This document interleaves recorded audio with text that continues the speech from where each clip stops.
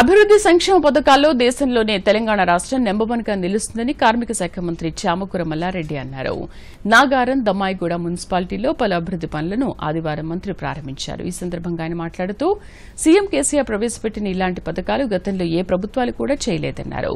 గ్రామాలు పట్టణాల్లో ఇంటింటికి మంచినీరు రోడ్లు డ్రైనేజీలు ప్రజలకు మౌలిక వసతులు ఏర్పాటు చేస్తున్నారని తెలంగాణ రాష్ట్రం ఏర్పడిన తర్వాత ముఖ్యమంత్రి కేసీఆర్ రాష్ట్రాన్ని అన్ని రంగాల అభివృద్ది చేస్తూ అనేక సంక్షేమ పథకాలను ప్రవేశపెడుతూ దేశానికే మార్గదర్శకంగా ఉన్నారని ప్రశంసించారు.